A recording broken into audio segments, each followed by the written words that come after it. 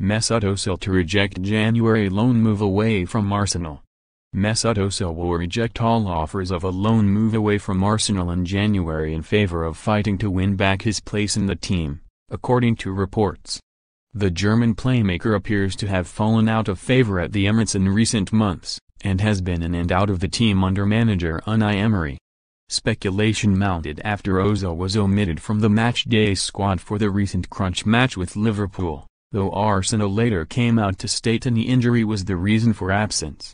With a host of clubs believed to be eager to loan the World Cup winner in January, Ozil will turn down all such opportunities, as a report ESPN. The sports outlet claims sources close to the player have revealed Ozil is determined to become a permanent starter for the Gunners once more and win his place back. Between various injuries, Emery has also left Ozil out of his starting lineups for tactical reasons though did recently recall the player for the 3-1 victory over Burnley, during which he picked up man of the match. Gunners legend Emmanuel Petit recently slammed Ozil following his omission from the squad, claiming he has been a ghost for two years.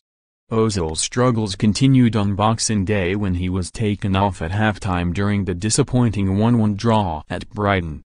The former Real Madrid man signed a new £350,000 a week contract at the Emirates Stadium back in January but is doing little to justify such extravagant wages at present.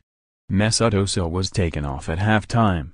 I'm a big fan of his, but he has been a ghost for two years, Petit told the Daily Mirror. Where's the Ozil who is one of the best players around, making so many assists and goals? I think he has lost his desire on the pitch. It's not there anymore.